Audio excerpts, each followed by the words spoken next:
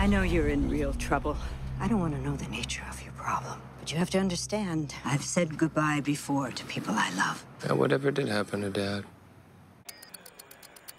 Sit down. I've seen you be half a million dollars up. I've been up two and a half million dollars. What'd you put away? Nothing.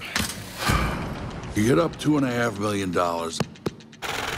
Any asshole in the world knows for the rest of your life that puts you at a level of fuck you.